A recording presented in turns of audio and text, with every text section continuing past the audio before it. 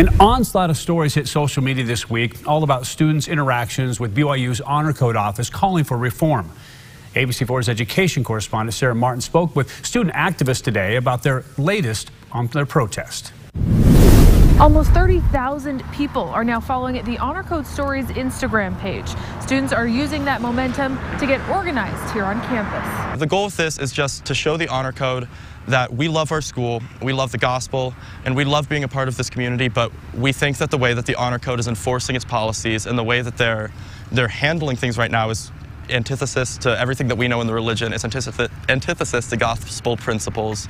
Anonymous submissions claim that the Honor Code Office has investigated students for social media posts from years before acceptance, for how regularly students wear their temple garments, and even alleged homosexual relationships, often with little to no evidence or correlation to the actual written Honor Code. Right now, if I don't like somebody and I see them watching a rated R movie, they can get sent to the Honor Code office for that, and that stays on their Honor Code office file. Students report being asked to sign this form, a waiver of priest parishioner privilege, so that the Honor Code office can go to the student's ecclesiastical leader and get further information about the repentance process.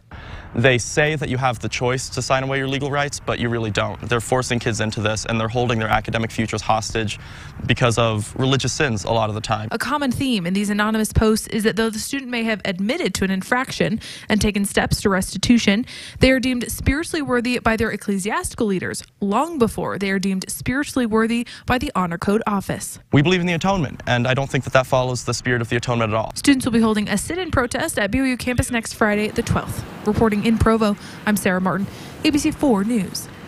Now, BYU so far has declined any request to do an interview, but they have said they have had multiple meetings with the Honor Code office about possible reforms.